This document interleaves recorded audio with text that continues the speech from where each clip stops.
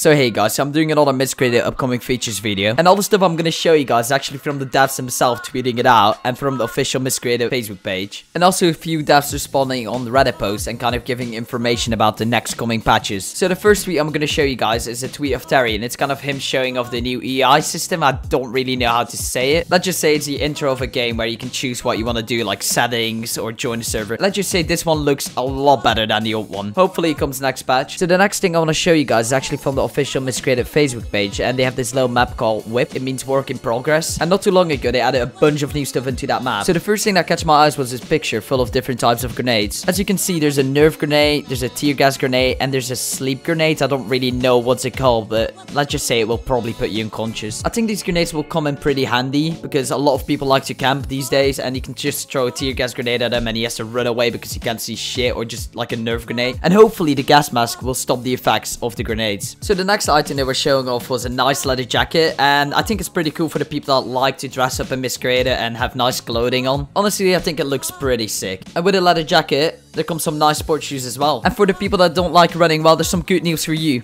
They are currently testing a new vehicle movement system, and as you can see, this 5 ton is just going up a hill like it's nothing. Hopefully, this new system will also fix the cars randomly just catching fire when you're driving on the road. So now we're talking about broken down cars. Do you guys know all those busted cars on the road that you can loot? Well, they made some new models for it, and let's just say Marco's pretty happy about it. As you can see on the pictures right here, they look a lot nicer than the ones right now. So now I want to show you guys some pictures of the new sewer system they're actually working on. So I'm going to show you guys a bunch of pictures of the new sewer system, but also explain it a little bit. So it's going to be in Hayward, well, beneath it. If you're thinking now, oh no, I'm going to like more in Hayward, well, that's not going to happen because the sewer system only renders in when you're legit at the sewer. And Hayward won't render in while you're at the sewer, so you won't lag at all because of Hayward or the sewer system. So the next stuff I'm going to show you guys are some Reddit posts, and the devs actually replied on it and gave us some information what could come in the future. So the first thing, armor. Somebody asked about armor, and the devs actually responded on it saying, yes, we are working on this sort of stuff at this very moment. The devs also said that it will depend on the caliber, distance, type of helmet you're wearing. Let's just say if you have a SWAT helmet, it will probably stop a .22 bullet or a 9mm. Honestly, I'm not really stoked for armor because I really enjoy stalking people and waiting for the perfect moment to headshot them with a shitty little pistol. But then again, I can't really complain because it has not been added to the game yet, so I don't know how it's gonna be. So I don't know if you guys know, but there's actually salt in the game. Yes, there is, but it's very rare, and some guy was asking where he could find it. And one of the devs actually responded saying that it will be more common and less rare because it will have a medical use. I don't really know what salt does, like in a medical use. Can you clean a wound with it or something? If somebody knows, leave it in the comments. I will be happy to know what it does. And the last thing I want to talk about is actually from the official Miscreated Discord. And two of the devs were actually talking to some people and they said they found a way of fixing the invisible glitch, at least the one that they know of. There could be more possible ways of getting invisible that they don't know of, but hopefully this is the only one.